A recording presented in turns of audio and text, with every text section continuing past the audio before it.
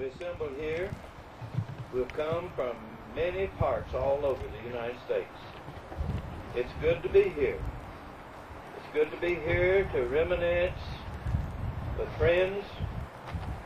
It's good to be here to remember cherished memories of loved ones and friends of many years ago who gave the supreme sacrifice for their nation. We come now for this memorial service, invoking thy blessings upon each facet of this service. We come not to glorify war. United States Air Force Academy. I'm Colonel Weingard. Uh, I'm a 68 graduate from this institution, and I'm Director of Development Alumni Programs. Uh, the Academy is proud to have the 89th Attack Squadron here this afternoon. So we were talking, and a friend of mine saw the 89th symbol emblem on the back of my car. And he said, why would you put that? I guess I was proud to be a part of that unit. And uh, since then, you know, he's asked me, well, why was your outfit any better than any other? You answer that for me one of these days, will you? But I, I finally came up with a little something. I don't like reading things, but I'm going to have to. My wife said I'm getting too old to remember everything. so, it, it may have been the best outfit in the country, but it certainly, it may not have been the best, but it certainly wasn't the worst. It could have been as good as some, better than, uh, than, than the others. When we landed in New Guinea, we might have been the worst. We were expendable. We were being used to try to deter the enemy from going into our... And oh yes, I have to admit that there was sadness when we found that some did not return. I believe that any group of men who overcame the obstacles we faced should be proud.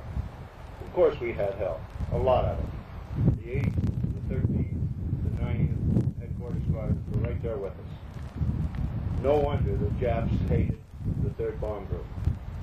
Well, what makes me the proudest is that all during World War II, the 89th, when asked to do a job, did it well. May God grace you and yours with his blessings. Thank you very much.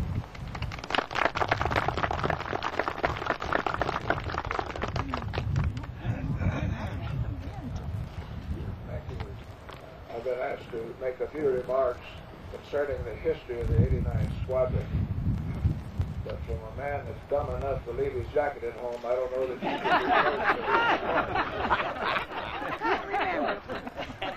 Having heard Colonel Strickland's excellent address last night, you know pretty well what the history of the 89th has been. He covered most of the high points. And I've learned just since I've been here that uh, Colonel Clark is going to offer some remarks concerning our sterling later in order to be Don Hall. So I could hardly separate any remarks concerning the history of the 89 from Don Hall, the H.P. Monroe, uh, John Dugan, Bob Down, Bill Beck, Bob Mosby, and Harold Seacrest were appointed as a committee to collect funds and carry out the following which was to establish a permanent foundation for the purpose of perpetrating the memory and accomplishments of all the men and individual aircraft 89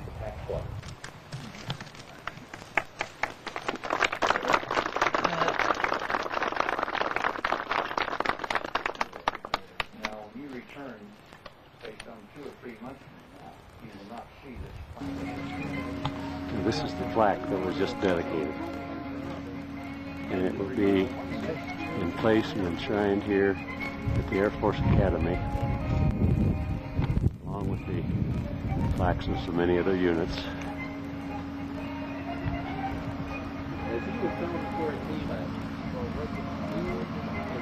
That are here. There's a front and a back wall to all the, uh, side to all these walls.